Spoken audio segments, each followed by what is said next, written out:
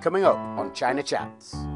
If you were the mayor of Guangzhou, what would you change? Uh, have less factories. Yep. There'll be a rule no spitting. You can't spit. Uh, do you worry about growing up? I don't want to grow up. You don't wanna grow stay, up? I want Yeah. to stay a child. I wouldn't like to take care of a child because um, I'm the child and Yeah. sometimes I'm naughty. So you're not in a rush to grow up? I don't No, know. really. I want You to. want- I want to I like stay this age. You want to be Peter Yeah. Pan? Yeah, yeah, Peter Pan.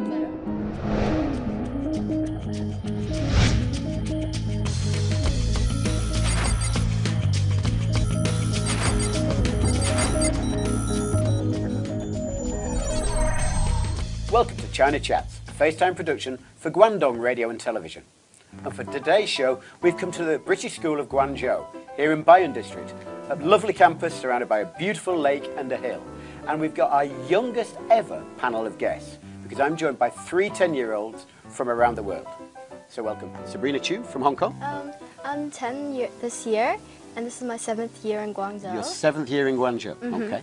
And Sheena Ling from Malaysia. Hi, I'm Sheena Ling. I'm 10 years old and I come from Malaysia. I've been in Guangzhou for three years. And our final guest is Uh, the gentleman of the show. I'm Harry Carlin, and I'm also 10 years old. I come from Britain, and this is my fourth year in China. Well, it's great to meet you all, and thank you very much for coming on the show. So, we're going to cover a few topics today. I, thought I thought we'd start off talking about life here at the uh, British School of Guangzhou. How do you like it? Well, this is my first year here, but I like it a lot. Like there, I have lots of friends and everything. What's the best things about studying here? And Well- remember, your teachers might be watching. Okay. okay. Uh, well, there are a lot of different classes. Yeah. I like the environment around here. Lots of plants and uh, more different from the actual city where I live in Guangzhou. I like how there are different topics for us to learn so we don't get bored of one. So That means I've got to ask you which is your favourite topic. I like PE. Okay. It's really fun and entertaining. Harry?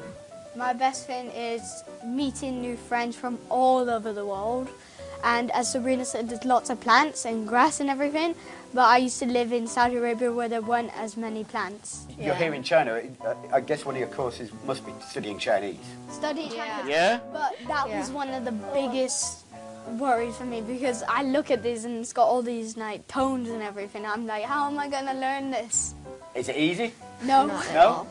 They're do- probably both better than me at But do, Chinese. but do you think it's important to learn the language? Yeah, because um, Chinese is now like the biggest language in the world, so it'd be nice for us to learn it to be able to communicate with people from all over the world.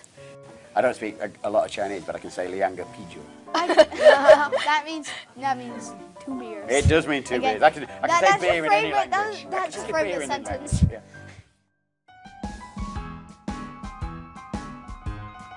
I like studying in Guangzhou because I get to learn a language that I've never learned before, and I think it's really fun. I like the fact that I'm English and I'm in China, so I have to learn Chinese. And I can learn all the culture and stuff about China. Um, what I like is that I got to meet new friends. It's been a great experience. Meeting new people, talking a different language, and learning about their nationality, their country. I learned how the Singaporeans had celebrate their festivals and all the Chinese festivals too from my friends. Now, this might surprise you, okay, but it's quite a long time since I was at school. Okay? Yeah. Now, how about the homework nowadays? Do you get a lot of homework? Sometimes it's a lot, sometimes a lot, but it's it's not as hard now because the tests are over. Like we've done Yeah. all the SATs. Because I've, I've got a lot of nieces and nephews. It seems that all the time you're doing SATs, test for this, test for that. Do you feel pressure? A bit, but most of the times it's all right. And I'm a slow worker, so I'm used to having to like work really quickly. Sheena, do you feel the pressure? Yeah, because I want to get good grades. Yeah. So I try to practice most of the time. Harry, do you think, is that the most important thing about school, getting good grades? And also about meeting new people. If you are very shy and you haven't built your confidence in schools, that means you might be a shy person for the rest of your life. So it's not just about grades because you can up your grades by trying. I think I'm going to give you an A grade for not being shy, Harry, because you, you know, he's not a shy guy. Yeah. In fact, the three of you for coming on the show, it's fantastic. Shows it. So you think it's important to, to, to develop your confidence? Yeah, because Social if you don't have skills? Social skills. Social skills. yeah. Because you need social skills to do this, basically. Yeah. basically. Now, I know that this school has, uh, it's got five core values. Yeah. Okay. Now, this is not a test, and you're not going to be graded, but I'm going to go one, two, three, four, five. Okay. Oh, Tell me the core values. Integrity, Integrity. responsibility, Respect. Love of learning. and I've forgotten it. I forgot it too. Starts with wait. Oh, I know, I know. I Go know. on. Yeah. Commitment. Commitment. Good. Okay. So five core values. I'm going to ask each of you separately which one of those five, and I, they're, they're all important. That's why they're core values. Yeah. Okay. Which one do you think is the most important? We'll start with Sheena this time. Commitment. Commitment. Why? Because it means doing your best and producing a um, work that shows your ability. Okay. I would have said commitment, but also responsibility because if you don't have responsibility, you won't be trusted with stuff. Okay. Very good. Well, I think love of learning because, like, especially since we're young, we, we should learn more and be more enthusiastic to have new facts and stuff like that, so that we can we can use these facts in the future. Great. So have you got a long-term goal? I know you're 10 Yeah. years old now. Where, Harry, what's your long-term goal Did we write it? in terms of learning? Uh, Do you want to go to university? Yeah. Yeah? I, wa- Yeah. I, wa- I don't want to be on the streets. I want to get. and you think getting to university can help you stay off Yeah. the streets? Okay. and up in my uh, maths because I really want to get a level six, and I was able to set the level six paper, but I didn't get a level six. and- Okay. Sheena, what about you for university? Well, I like to go because my mom said um, you get to do everything by yourself and it's like your job to do everything and you have to be independent and that sounds fun. Okay. But Go on, Harry. I would, all I really, the job I really want to do. This is what I was going to come Yeah, on to next. Go my on job is probably I want to be a football player or a professional athlete because I love playing football and I love sports. Sheena, have you got a career in mind? A dream job? Not really. I'll just do whatever I am best at. Yeah? And Sabrina, have you got a dream job? Mm, I'm not sure. I did think about writing Right? Because My I kind like of girl. I like this. Yeah. You should become a oh. journalist. yeah, that's Do- Do you follow news a lot? Are you interested in news? Are you interested about what's going on around you in Guangzhou, in China, in the world? yeah. I don't, I don't really read or watch news, but I read that football news. Huh? Yeah, sport news. That's how I started. Listen, when I was eight years old, I knew I wanted to be a football player. Yeah. So that, because I wasn't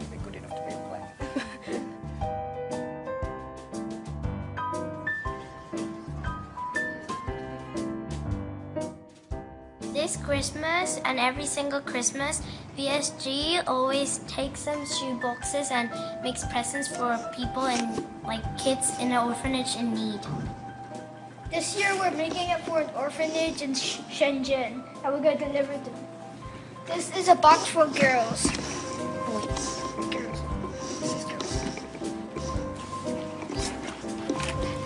Inside, um, there's everything an orphan needs to um, keep warm in the winter and like their toothbrushes so they can brush their teeth.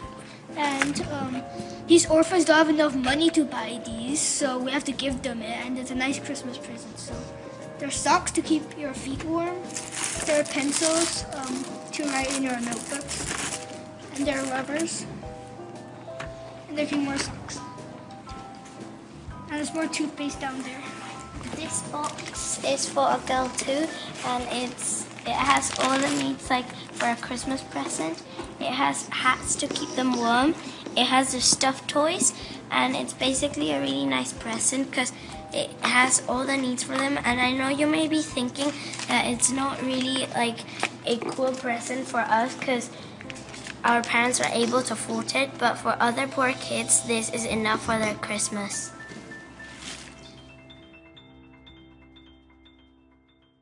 So, uh, do you worry about growing up? Oh yeah, I don't want to grow up. You I don't wanna wanna grow stay, up? I want to Yeah. stay a child. yeah. Me too. I'm still a child.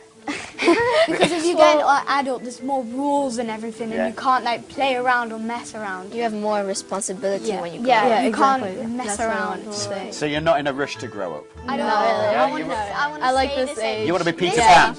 Yeah, yeah, Peter Pan. Yeah, exactly. Yeah. So what is it, apart from the responsibility, are are there things around the world that worry you about growing up? Sheena, is there anything that troubles you? Well, I wouldn't like to take care of a child because um, I'm the child and Yeah. sometimes I'm naughty. Yeah. So I wouldn't like to deal with that. So at the moment you don't want to be a mum? No. That's perfectly fine. It might change. Okay, we'll see.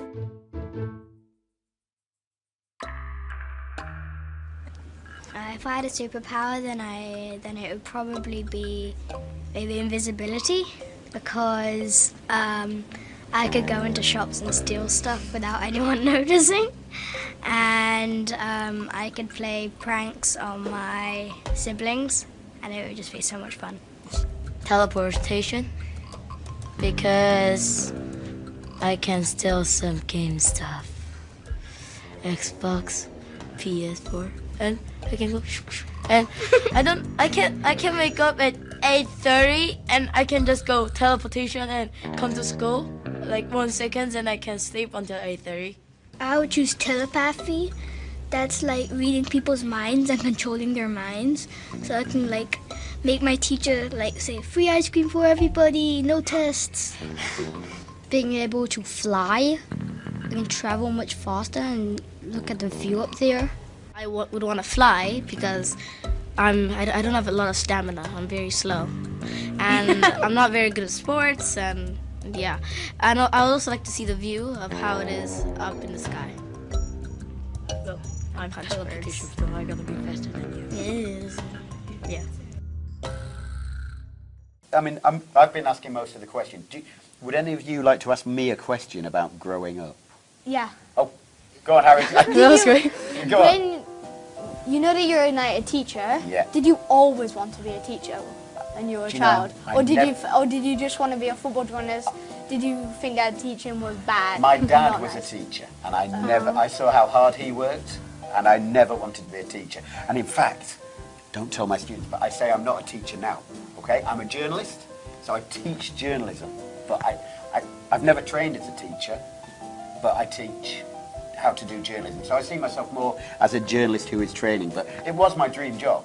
Um, and I think, you know, to kind of answer your question about, about teaching, if you've got an, a goal, if you've got a dream, you know, it's, it's great to have a dream that you can then chase.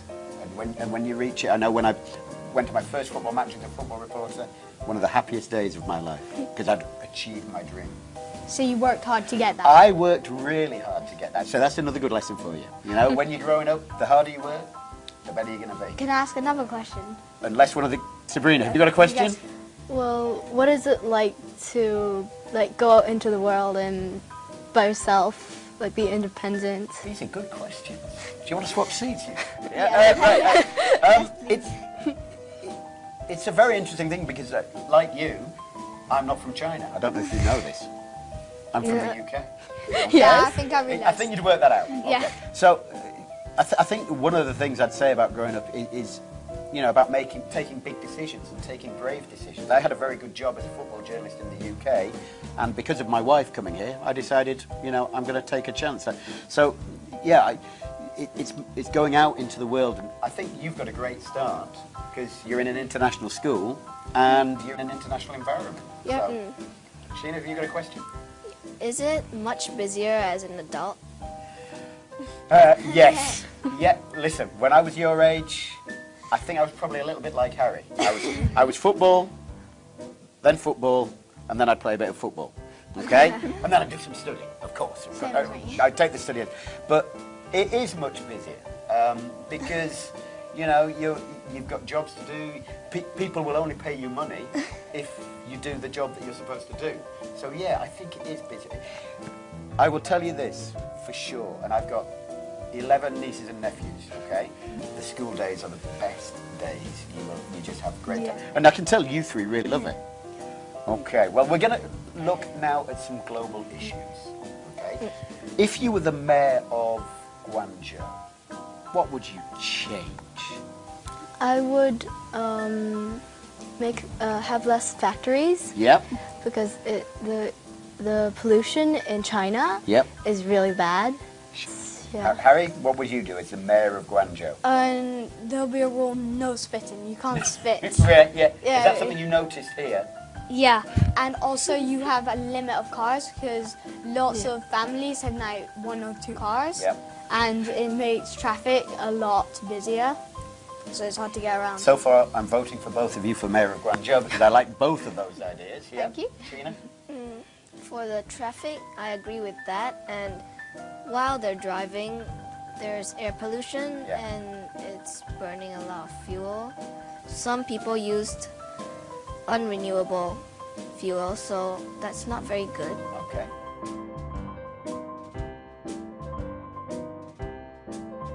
Pollution. The Guangzhou's air is too bad. If I was the mayor of China, then again I'd probably change pollution um, by maybe banning people from littering on the floor and throwing stuff in the river. Make a lot of mountains and trees and stuff. I'll get rid of all the factories because too much pollution. I'll ban spitting.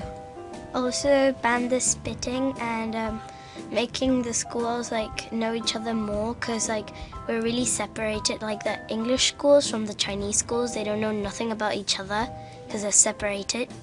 Well, I would ban um, the um, the amount of dog poop that goes on the floor, and, and maybe it's the the amount of spitting that goes down, and maybe it should stop. And maybe people who stare at certain people, maybe they should stop staring and be polite and not take their pictures out of without their permission. That's what I think should happen. Good. I, I like all those answers. We'll bring it a, a little closer now. What do you think you will miss when you leave? Oh, I'm actually leaving at the end of the at the end of the whole school year. Really? Whole So you're school leaving year. next summer? Yeah. What What do Um, you think you're going to miss? And friends. Yeah. And I don't know. I really want to go to the UK though, Okay. because I've only been there for three years and about two months, and I want to study there because my older brother's there, Sure. and he does a lot of football and everything and sports, and I, it sounds really good. So I really want to go board and board there. I would miss my friends and my school life, how I settled down. I'm gonna have to change and meet new friends, which is pretty um, good as well. And the classes. The classes? Yeah, like Like the topic, teachers. science. Yeah. yeah, and the The teachers. teachers are very nice. They're very nice? Mm, yeah. Mm-hmm. Listen, having met you three, I'd say the kids are pretty nice. Okay, so, and I think if any of you are interested, you know, if you don't mind seeing these cameras around, and if you don't mind the bright lights, maybe you'll end up sitting where I'm sitting one day. Okay. Mm. Thank you very much for being our guest on China Chats. And Harry, we're going to play a bit of football soon. Yeah. Looking forward to it. Yes. I can show you how a real player plays. Uh, I can show you that. Okay. I'm very bad at Save! Who do you think's gonna win? I think Matt's gonna win. He looks strong. Plus, I think Harry's gonna win. Like he practices so much. No, I was trying to trick you. Oh, that's a beauty. I think, he let that in. Yeah, I think he let that in. You okay? You okay? Yeah.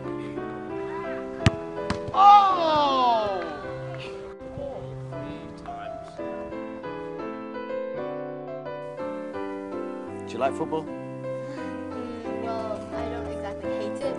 Me too. I love I- football. I love. I, I can't sit life. there for Yeah, like one hour every day. I, I can't sit there for one hour staring at the TV with people running around. It's not one hour. It's one, One and a hour. half. and Yeah, one hour It's and one half. hour and 45 minutes because of the 15 50 minute minute half time, yeah. Yeah, but it's hard to Some watch in China because it's always at at 1 midnight. p.m. or at midnight.